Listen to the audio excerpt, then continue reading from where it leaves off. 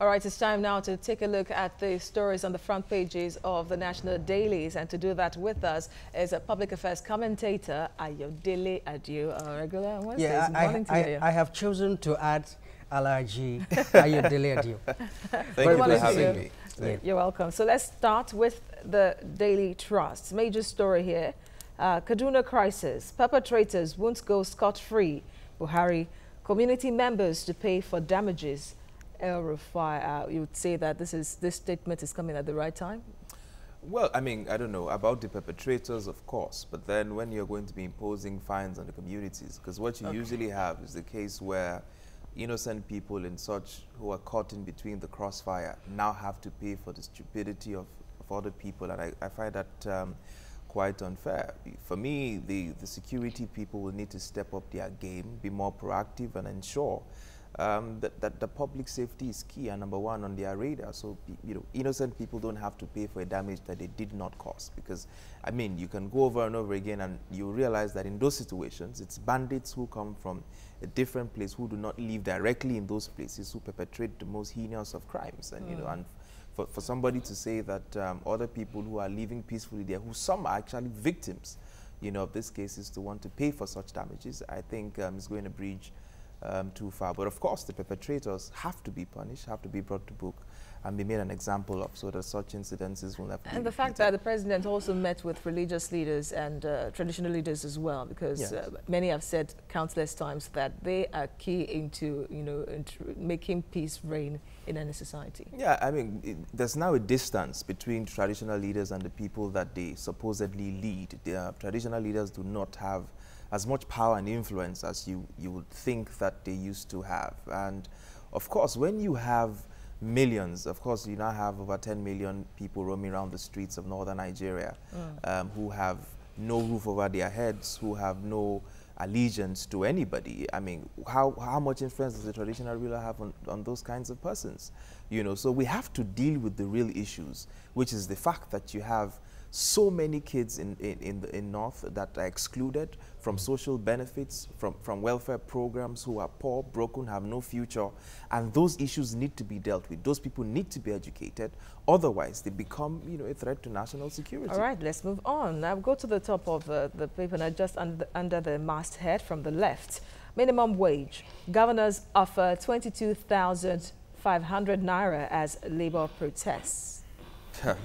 well, I mean, it's, it's becoming an impasse between um, the Labour and the federal government. I, I, think it was the governors who proposed that they could pay 22,500. Yes, the governors. 500. Mm -hmm. uh, well, I mean, it, I don't like, I, I, really don't like to comment on, on the labor issues because on the one hand, you can't argue against the fact that their take home hardly takes them anywhere, mm. you know, and then the other hand also, you, you, you can also argue against the fact that over 60% of our revenue is going on servicing debt That's and uh, overheads and, and what have you. So there's, there's very little amount uh, that the governments can afford um, to pay extra. So but, but it's like you're caught in between a rock and a hard place. When you, when you say that to a civil servant, really, it would be quick to tell you that politicians e in office exactly my point. You know, so, so that's why it's really that. hard to comment on on on, on, on these Absolutely. issues. All right. No plan to review fuel price. NNPC says president hosts aggrieved APC aspirants. Uh, the president has been making so many efforts to unite aggrieved uh, members of the party, you know, after the primary elections uh, fallout and all that, so that they can go to the 2019 general election as a united force you know, usually if you do the right thing, there will be no need, um, you know, to try to assuage people, to try to persuade them. Mm. All, all the party needed to do was to conduct a free, fair, transparent primary election. Are you saying that, um, you know, was obvious to everybody? Okay. And, and, then you had very few issues lingering left, right, and center. All right, then, just the rest of the stories now. Uh, let's run through them. 400 arrested, police vehicle, police vehicle burnt as Shiites continue protest. PSN Confab, FG sets up two committees on drug abuse. That's All right, uh, let's take a look at the Punch newspaper. And the Punch, of course, leads with uh, the minimum wage issue. We can only pay 22500 uh, That's uh, the governor's telling the workers now. Now, Abdulaziz Yaridi, uh, chairman of the Governors Forum, uh, came out to say, look, not that we cannot pay, I mean, not that we do not want to pay, but we're looking at a sustainable strategy, um, you know, to, to um, you know, sustain the payment of, of this. That, that in some way makes some sense, doesn't it?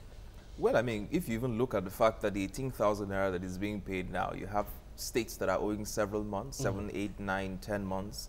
Um, some states have found some ingenious formula of paying salaries where they call modulated salary payments and, and what have you. So mm. um, the 18,000 seems to be a problem for several states. How much more the 22,500? Mm. So um, I, I, can, I slightly understand his sentiments, but as long as um, political office holders would, hold, would earn you know, 10, 15 times that of civil servants and never get old, um, there's hardly a case you can make against um, the labor union. Mm.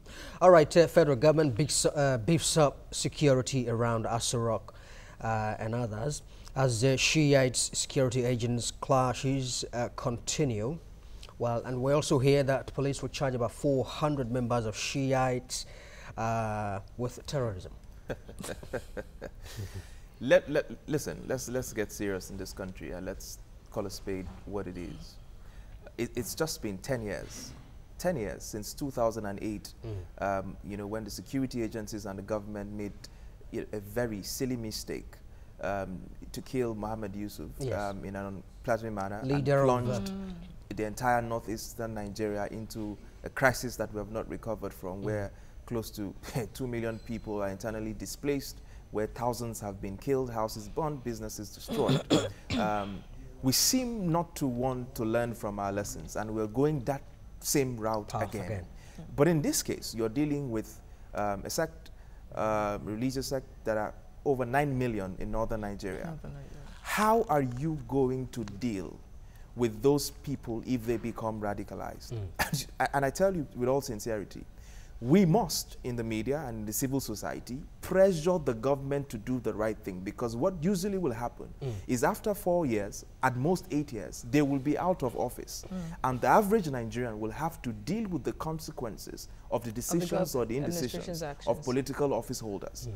Because you cannot continue, you, you can't continue in UN international, um, uh, uh, you can't shoot people at the back. And, and mm. their demand is quite, their demand is quite simple. release, release our well. lead. It's it's it's it's simple. I mean, and the courts, I, hear, the courts I, have also. I mean, I hear arguments that they threw stones. Don't get me wrong. It's extremely stupid to throw stones at soldiers moving the come. Extremely stupid. Mm. But the price of stupidity cannot be death. For goodness sake, mm. there are better ways to deal with with protests. you, you could have non-lethal bullets, you know, that just neutralizes them for, for a few minutes, and you could disperse people. You, they dispersed close to 500,000 crowds in Rio before the World Cups mm. without killing a single person. You can achieve all of these things without alienating you know, a group of people. What beats uh, many is that uh, it happened on Saturday, and just about three days after, after using live ammunition on um, people, yes. you know, that were throwing stones. Yes. It happened again. All right. So let's go to Let, the Let's look at the Daily now. Sun news. Okay. We'll go to the Daily Sun yeah. now. Yeah. All right. Uh, major stories uh, still about uh, the minimum wage impasse. Wage showdown likely as governors offer 22,500 naira. Workers threaten to go on strike from, excuse me, from November 6. We already talked about that extensively, so we'll leave it. We'll go to other stories from the top left. Buhari to deal with killers, 75 dead in Kaduna. We talked about that as well. Police arrest 400 Shiite protesters in Abuja.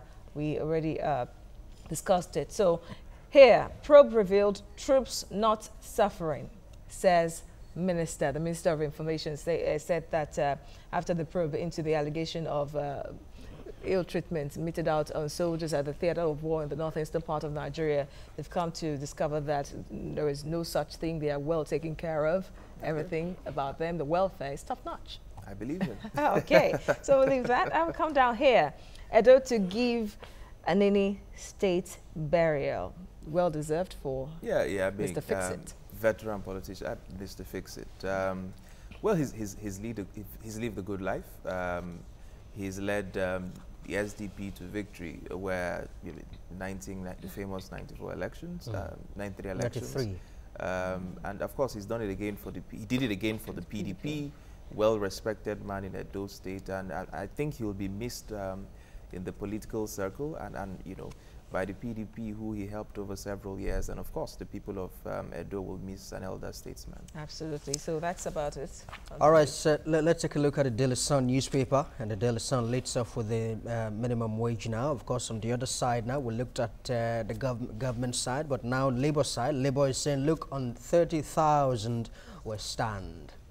So uh, there is a sense in which um, the the um, the stage for for battle is uh, been set at the moment.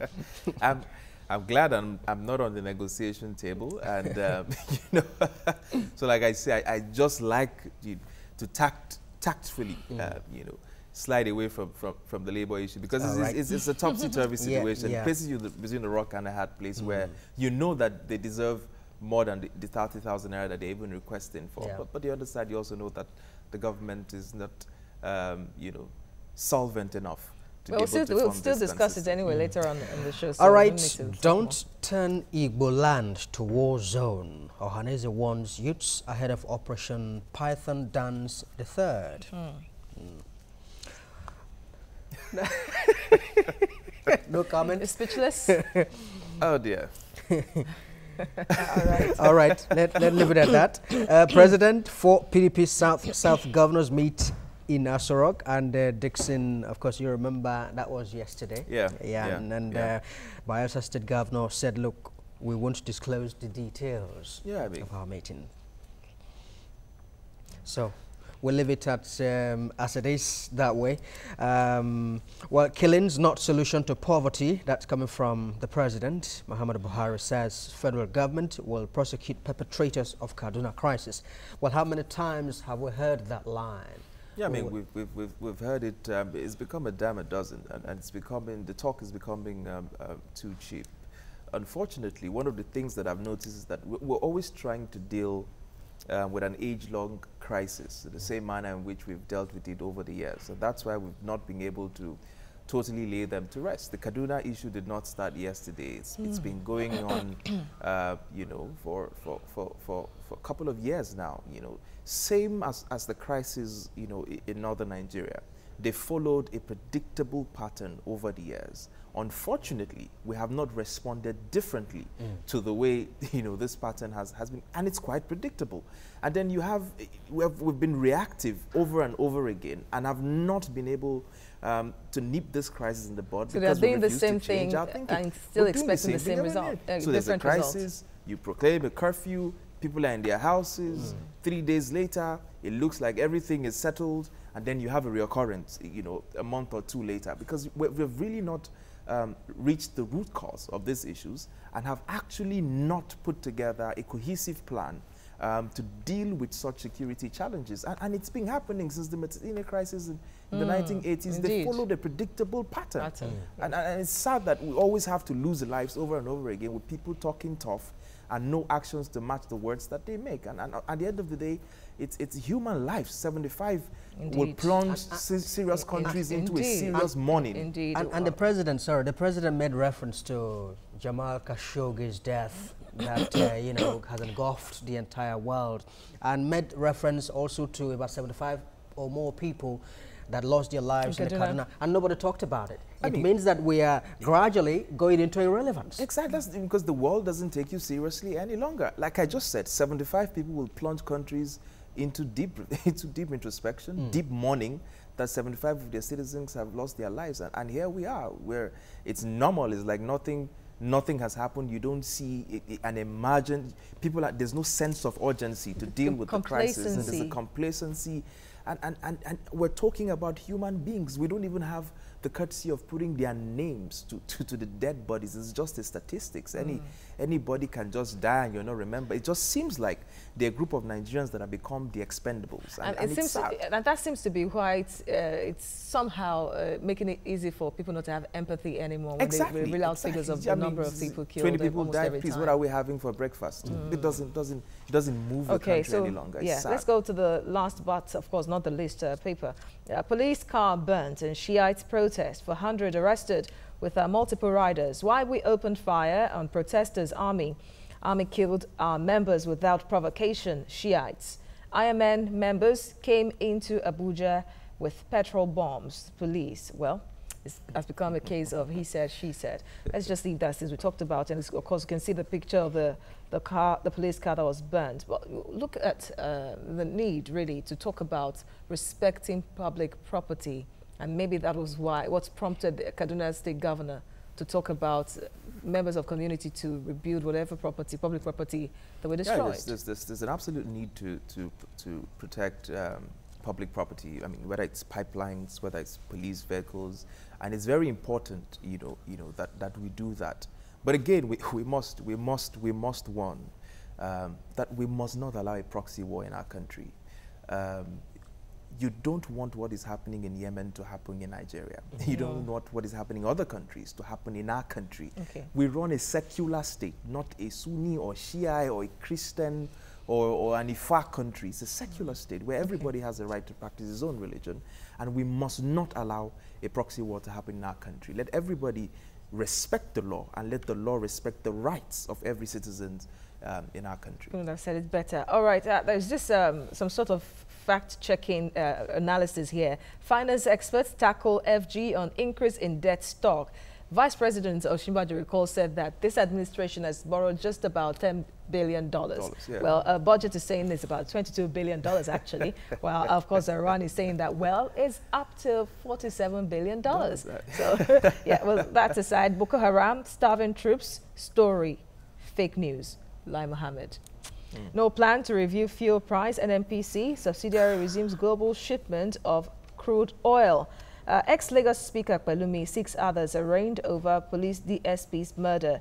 Dangote responsible for over 10% of Nigeria's GDP. Wow. Yeah, I mean, One person. yeah, I mean, of, of course. That, so the problem is you, you've had a, a country that has made several billionaires that has really not translated to employment opportunities for people. Mm -hmm. uh, because most of your billionaires uh, are in the oil sector uh, and in the mining sector where they take things from the ground. Politics. And so you, you really don't need a lot of people. You, I, know, I know oil companies that have that run onto billions in their balance sheets at the end of the year, but only employ 20 people. Mm. You know, so you have very few billionaires or very few multimillionaires who are actually creating value right. um, in your country. And, and of course, whether you like him or not, um, Dangote is, is, is, definitely one of them. And then you need, you, know, you need more people like Dangote who are going to create value right. um, in the economy by hiring a lot of people. Okay. All right. Uh, Ayodele Adio, Gloom Television Managing Editor. Thank you very much indeed Thank for your time you sure well,